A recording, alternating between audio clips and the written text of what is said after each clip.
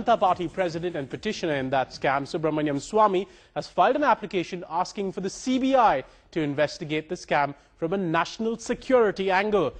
Uh, Swamy had earlier accused the agency of being lenient on the former telecom minister A. Raja. He told the Supreme Court that the CBI has charged A. Raja for forgery under a relatively lenient Section 468 instead of a more strict Section 467. Let's understand why Subramanian Swamy favors the latter. The very strict Section 467 deals with forgery of documents related to national security. Section 468, on the other hand, deals with forgery of documents for cheating. The charges under Section 467 could attract maximum punishment of imprisonment for life. Under 468, the maximum term is just seven years.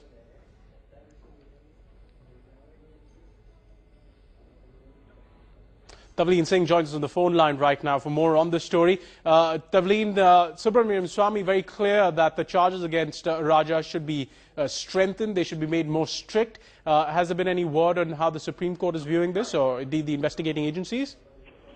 CPR today in the hearing that took place uh, in the morning, uh, Supreme Court has clearly said the Subramanian Swamy, who is also a petitioner in this particular case, said that uh, a stringent section should be imposed against uh, former telecom minister A. Raja.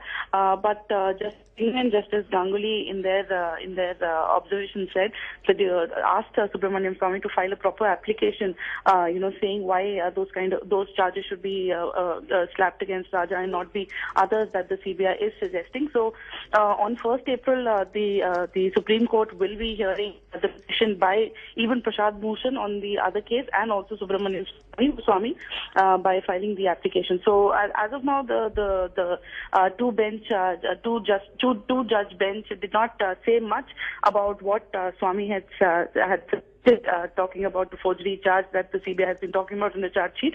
Apart, just just on the fact that you know he should file a proper application, and they didn't have any observation to make in that particular sense.